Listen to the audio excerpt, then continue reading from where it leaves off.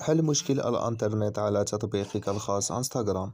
اليوم سوف نتعرف على هذه الطريقة من خلال الضغط على الضبط والإعدادات.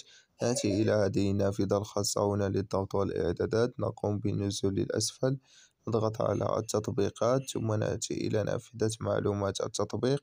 نقوم بالنزول للأسفل للبحث عن تطبيق الإنستغرام في هذه النافذة الخاصة. ثم نضغط على الإنستغرام. ثم نأتي إلى نافذة معلومات التطبيق الخاصة في هذه النافذة. نضغط على إيقاف إجباري. ثم نضغط على موافق.